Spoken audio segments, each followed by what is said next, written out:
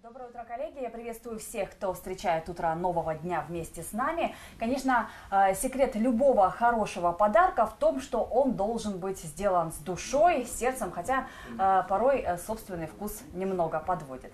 Поэтому сегодня о том, как составить красивый праздничный букет, мы поговорим с флористом Светланой Гришановой. Светлана, доброе утро! Доброе утро!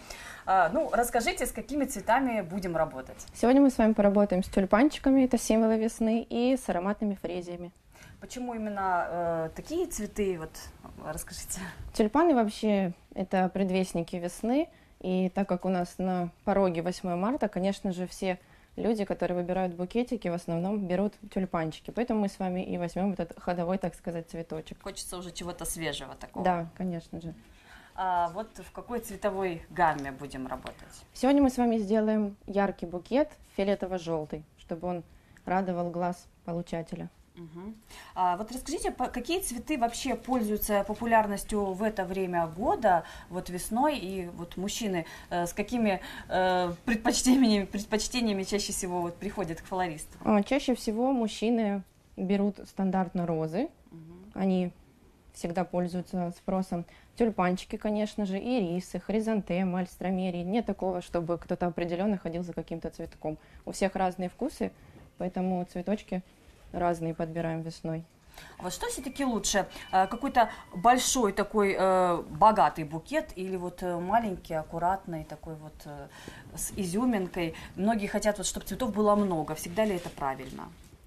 Ну, знаете, это все зависит от вкуса человека. В принципе, и маленькому букету можно быть радым, конечно же, всегда. Угу.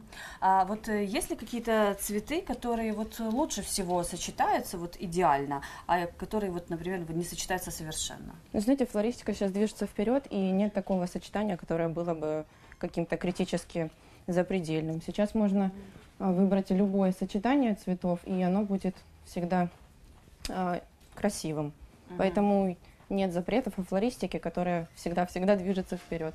А, ну вот приведите пример, например, э, может какие-то цветы а, раньше считались несочетаемыми, а теперь вот они успешно вместе соседствуют в букете. А, ну, допустим, вот раньше говорили, что калы нельзя добавлять в букеты, потому что они придают угрюмости.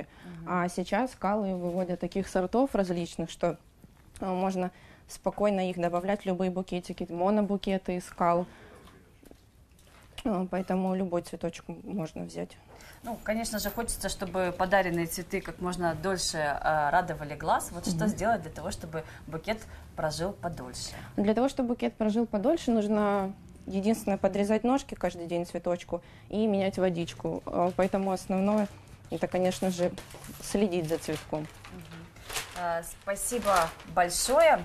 Я напоминаю, что сегодня мы беседовали с флористом Светланой Гришановой, беседовали о том, как э, правильно составить красивый праздничный букет.